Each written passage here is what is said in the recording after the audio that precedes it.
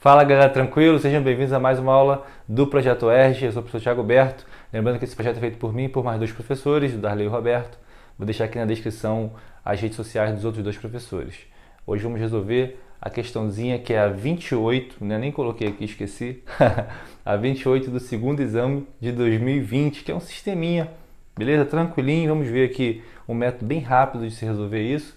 E se você ainda não é inscrito nesse canal aqui, se inscreve aí para fortalecer, dar aquela moral, que eu tenho certeza que o conteúdo postado aqui vai te ajudar a conquistar os seus objetivos, que é a aprovação ou na UERJ ou em qualquer outro concurso, beleza? Então bora para a questão. A questão diz o seguinte, ó, os números inteiros x e y satisfazem as seguintes equações. Então ele daqui um sistema, tudo bem? Ele quer saber x mais y é igual a quanto? Qual das alternativas? Só de olhar para esse probleminha aqui, a gente percebe que dá para isolar aqui o y, ó. Se eu isolar o y, vai ficar mais ou menos assim, ó.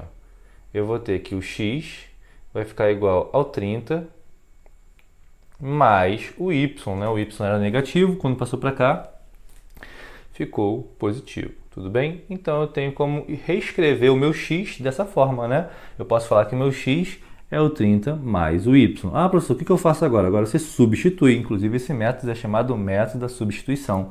Você vai substituir o valor de x agora por qual valor? 30 mais y. Então, aqui onde está x, ó, vai botar 30 mais y. Vou fazer isso aqui do lado, ó, vai ficar mais ou menos assim, ó, 2 quintos. Aonde está aqui o x, eu vou colocar o quê? 30 mais y. Então, vou botar aqui, ó, 30 mais y, beleza? Mais o que? Mais 3 quintos de y igual a 37. Show de bola. Vamos fazer distributivo aqui, ó. 2 vezes 30 vai dar 60. Dividido para 6, para 6 não, perdão, para 5. 2 vezes y vai dar 2y. Dividido para 5, tá? Bom, aqui eu tenho mais 3 quintos de y igual a 37.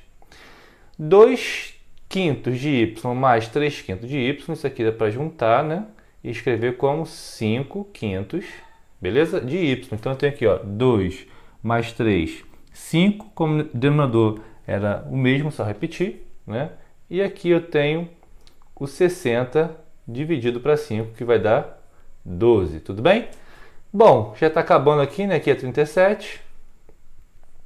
5 dividido para 5 vai dar 1, então vai ficar só y, então eu vou ficar com 12 mais y igual a 37. Esse 12 vai subtrair aqui, ele era positivo, vai ficar negativo, então y vai ficar o 37, tirando 12, vai dar 25. Show de bola, professor. Então acabou a questão aqui praticamente, né?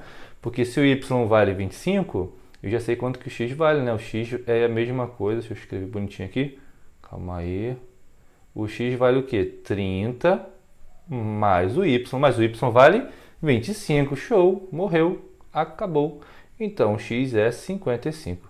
Bom, a pergunta qual foi? A pergunta é x mais y é igual a quanto? Então, eu vou somar o 55 mais o 25. Vou botar aqui, ó, 55 mais o 25 isso vai dar 80. Gabarito letra A. Tudo bem?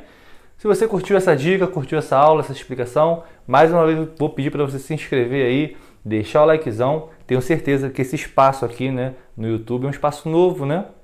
É destinado para te ajudar. Tudo bem? Então segue aí, tamo junto.